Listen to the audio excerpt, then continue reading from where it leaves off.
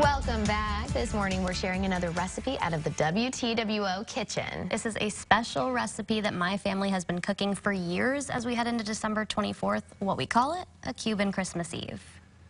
As we all prepare for our family Christmas events and maybe work Christmas events, things like yeah. that, we're going to be trying some fun recipes and Savanna is doing a Cuban dish for us today, something that she grew up with. It's yes. going to be really interesting. So it's got a lot of prep work, right? Yes, we've been doing this now for what, like four hours yeah. total. So this takes a lot of time. The first thing that we did yesterday when we got in, we took a package of beans. You can get them anywhere, just black beans, 16 ounce pack.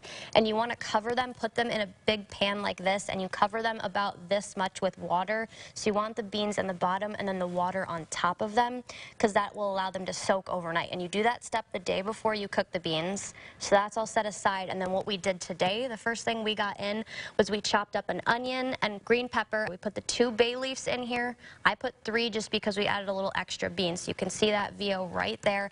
Also add some chicken broth. I got a 48 ounce box of chicken broth and I added about half of that. So we put all of that in there and then we started it off on a um, high medium boil once it starts boiling, that's when we turned it down. You came over here and turned it down to like yeah. a low medium. yes. Just because it was bubbling, we could hear it sizzling. So once that's done, we let it cook for another additional two to three hours. If you're adding extra beans, you are going to want to allow that to cook closer to the three hour time frame.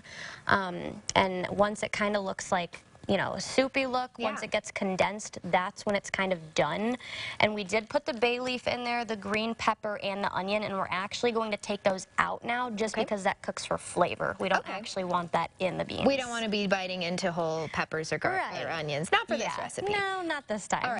All right. Right, so now it's got all its flavor in there, and now it still has to cook for a little while, right? Yes, we still cook that for an additional about 30 to 45 minutes. You just keep it on low and let it simmer, kind of. Okay. So now we take the sofrito. First, you want to prepare it. So you have a lot of ingredients that go in this. The first thing is four to five cloves of garlic, one to one and a half large-sized green peppers, or you can use two medium ones, one large onion, and then two teaspoons or spoonfuls of giardiniera. You want to use Chicago style.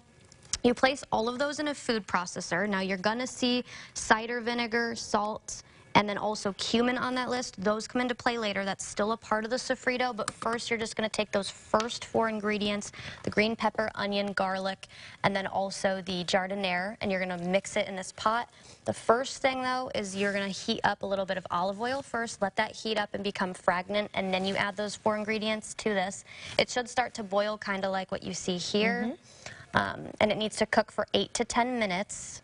And then after that's done cooking, we're going to put this into the black beans. Wonderful. And so that's kind of the first step is we'll place that. And I know there is some more sofrito, like you said, that uh, we're keeping in the fridge. That'll yes. be for the next step. So uh, that will be what we go on with next. Yep. So we'll place this in with the beans, and that's step one of the recipe, yep. right? We let that continue cooking for about 30 to 45 more minutes. Then we moved on to the picadillo.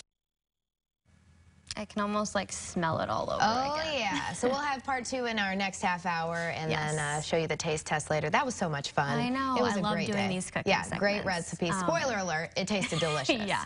We forgot to mention two yeah. things, just the lid being cracked while you're cooking it. Yes. And then also you can use a uh, can of black beans if you don't have that four to five hour time frame right. window for the black beans. Yes, but it's, the more authentic and the more time taken, the better. Oh, yes. it tasted so good. Yeah, so if you have the time, definitely try it. Yes. Well, if people have any